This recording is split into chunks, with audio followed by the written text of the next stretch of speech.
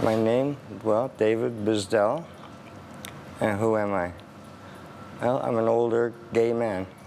Um, I'm having a hard time, I guess, making that transition to from being young to being old. When I'm dreaming, I'm young. In my dreams, I'm young. When you look in the mirror, what do you see? I see an old man. I see somebody that I didn't want to become. I'm not afraid of dying. I'm, what I'm afraid of is the time from now until the time that I do die. Um, and the way I see it right now, uh, going into a senior's home, it's, it's, it's not going to be easy, and it doesn't, it's, it's not going to be any fun. I mean, do you worry that people might treat you differently because you're gay?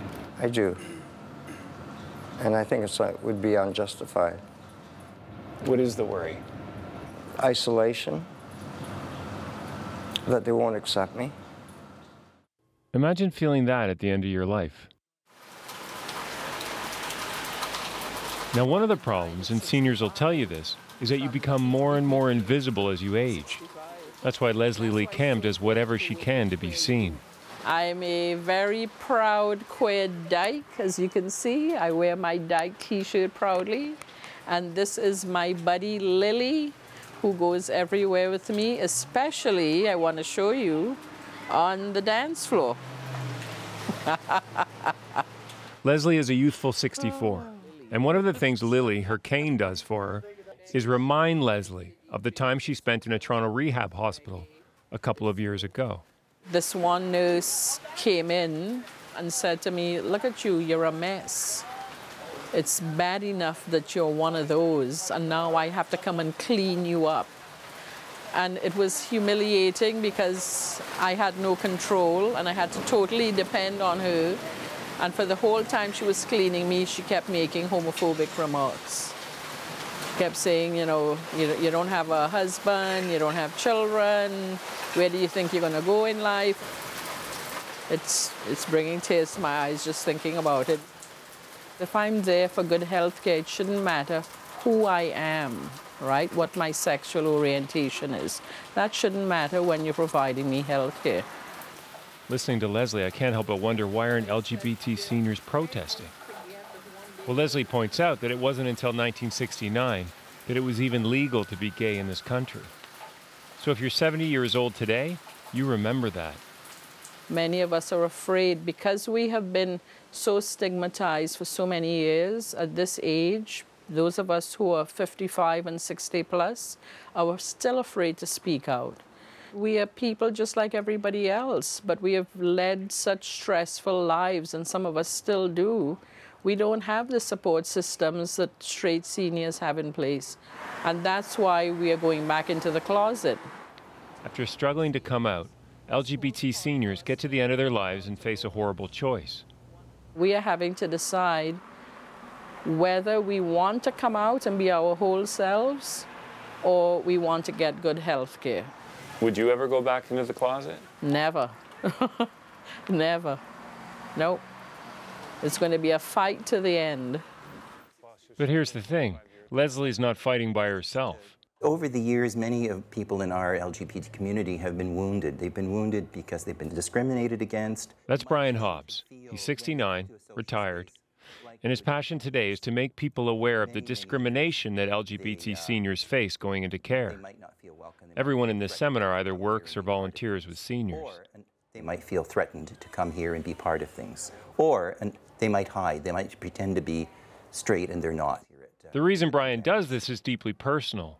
And it actually starts way back in high school when he was left to eat alone in the cafeteria every day. Nobody looked at me, not even the teachers. They'd walk past, and it's like I didn't exist. What if the same thing happened in a residence? What if people didn't welcome me at their table?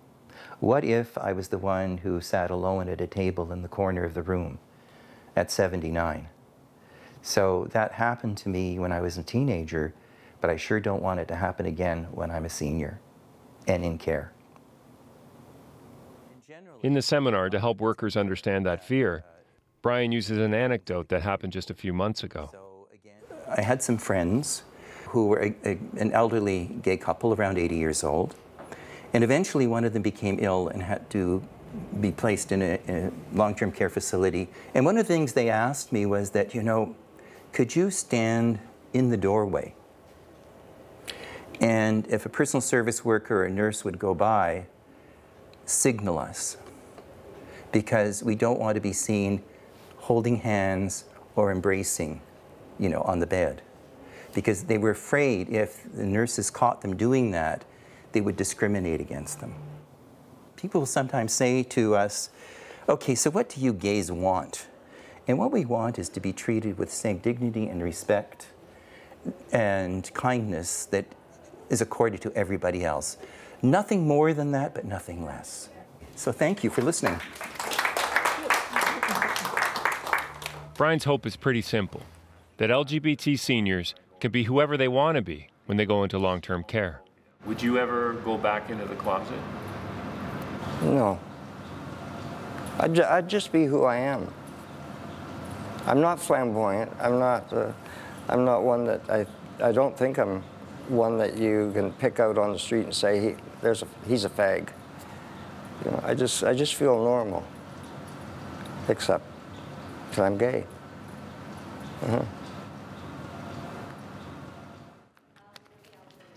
The seniors who are facing what David's up against are the same seniors who fought for gay rights for all generations. It seems only fair they should live how they want in their final years. Nick Purdon, CBC News, Toronto. And this issue may only get bigger as more baby boomers reach retirement age. Within the next 20 years, people 65 or older could make up to a quarter of Canada's population. And because people in that age group are more susceptible to chronic diseases, it is expected to put huge pressure on an already stressed healthcare system.